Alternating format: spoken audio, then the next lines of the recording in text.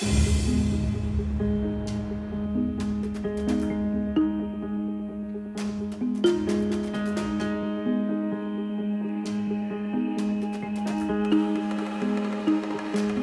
der denkmalgeschützten Remise in Wien-Erdberg ist seit September 2014 das neue Verkehrsmuseum der Wiener Linien in Betrieb.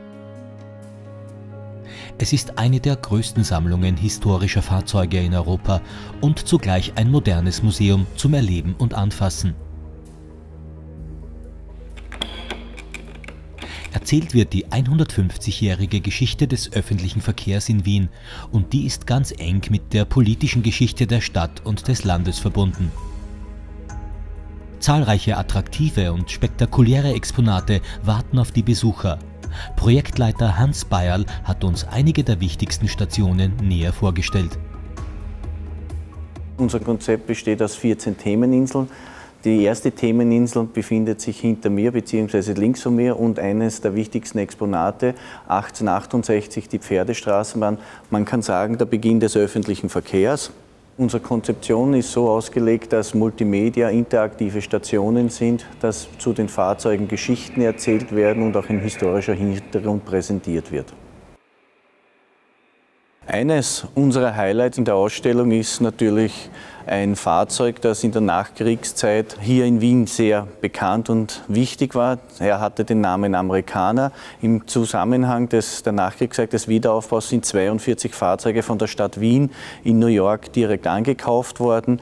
Im Zuge des Marshallplans wurden sie nach Wien gebracht, wurden entsprechend Wien angepasst und sind bis im Jahre 64 bei uns in Betrieb gewesen. Sie sind in der Regel vom Schottenring bis nach Stammersdorf, Strebersdorf, also über die Donau in Betrieb gewesen und waren ein sehr beliebtes Fahrzeug.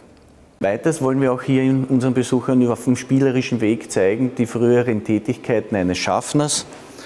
Zum Beispiel eben das Wechseln des Zielschildes, Weichenstellen, Handbremse,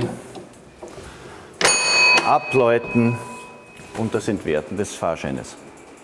Eines unserer weiteren Besonderheiten ist, dass wir hier herzeigen möchten im Museum, wie verschiedentliche Fahrzeugzusammenstellungen gewesen sind. Hier zum Beispiel die Garnitur in Volksmund die Halbstarke genannt, sprich ein altes Fahrzeug aus der Vorkriegszeit mit einem neuen Fahrzeug kombiniert. Das sind die Entwicklungen um den, in den 60er Jahren, wo man umgestiegen ist zu den Großraumfahrzeugen. Ein Klassiker ist der Doppelstockbus der Linie 13a, natürlich ebenfalls zu besichtigen im Verkehrsmuseum. Als weiteres besonderes Exponat befindet sich genau jener Gelenkbus in der Ausstellung, der 1976 beim Einsturz der Wiener Reichsbrücke in die Donau gekippt war. Unser neuestes Highlight im Verkehrsmuseum ist die U-Bahn. Hier sehen wir den Halbwagen eines U-Bahn-Zuges, 2,5 äh, Millionen Kilometer bis letztes Jahr 2013 noch im Einsatz gewesen.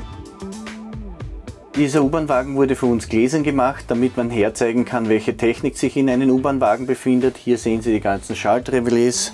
Weiters haben wir den Ausblick eines U-Bahn-Fahrers hier auch sichtbar gemacht, welche Technik heutzutage uns durch Wien transportiert.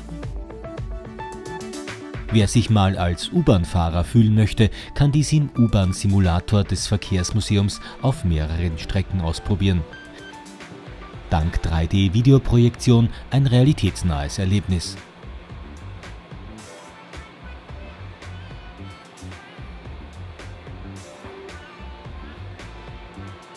Selbstverständlich sind auch historische Uniformen der Wiener Linien sowie andere nostalgische Exponate rund um den öffentlichen Verkehr zu sehen. Doch bei den bislang 14 Themeninseln wird es nicht bleiben. Eine Erweiterung des Verkehrsmuseums ist bereits vorgesehen.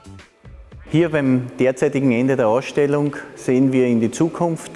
Wir werden einen Zukunftsraum eröffnen, wo wir zeigen werden, wie sich der Wiener Stadtverkehr entwickelt. Weiters wird es noch weitere Themen geben, die sich auch mit dem internationalen öffentlichen Stadtverkehr auf der Welt beschäftigen.